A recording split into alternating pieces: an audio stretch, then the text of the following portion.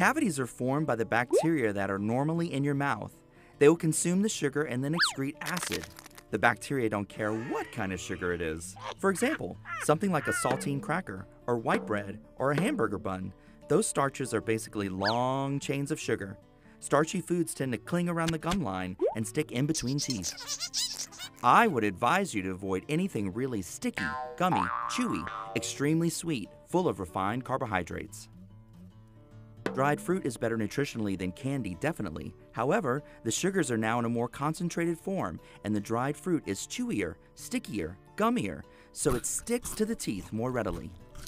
You wouldn't think ketchup is very sweet, but there's a good amount of sugar added to something like that. Soft drinks tend to be very acidic as well, and that acidity adds to the problem because you have the acidity that weakens the minerals in the teeth and then the sugar as well.